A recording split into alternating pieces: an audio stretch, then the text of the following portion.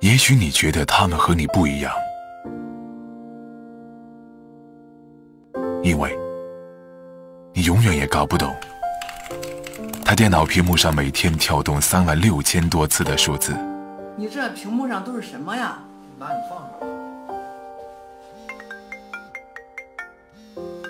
喂，白桃没有突破，我就六七八五空了失手。行，一会儿再联系。好嘞。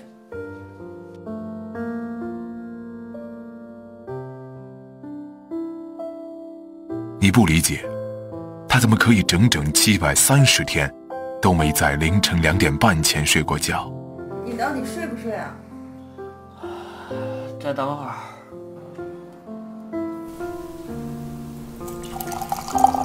去逛街吧。你无法相信，在过去一年，他居然拒绝了你五十二次逛街的邀请。哎，我这会儿有点忙。你很无奈。他每天下午三点半前从未接过你的电话。您的呼叫已经转入中国电信通信助理。你已经记不清这是他第几次决定要重新开始了。你觉得他幼稚、麻木、冷漠、不切实际，甚至不爱惜自己。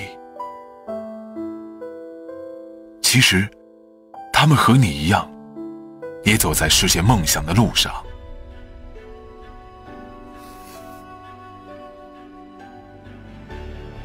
他不在意你能否看懂他的能力，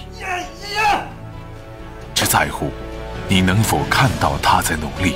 喂，妈，我赚钱了，我赚到钱了。他宁可自己困在两点半的深夜里咬牙继续。也不想你困在二十平米的出租屋里遥遥无期。他拒绝了你无数次的邀请。亲爱的，我要告诉你个好消息，你猜是什么？只期待着给你一场说走就走的旅行。你觉得他很孤独，但他的梦想一点也不孤独。稳定盈利能力奖。他在失败中不断尝试，一次又一次向更大的目标冲刺。妈，我走啊！好，慢点啊！你儿子整天可忙了，做什么工作的？职业交易员。世界很大，他只是在你看不见的路上向前走。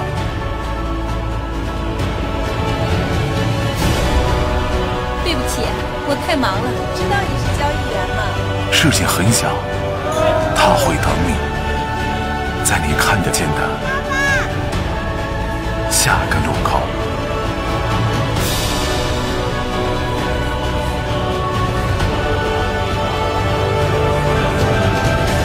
每个为梦想努力的人，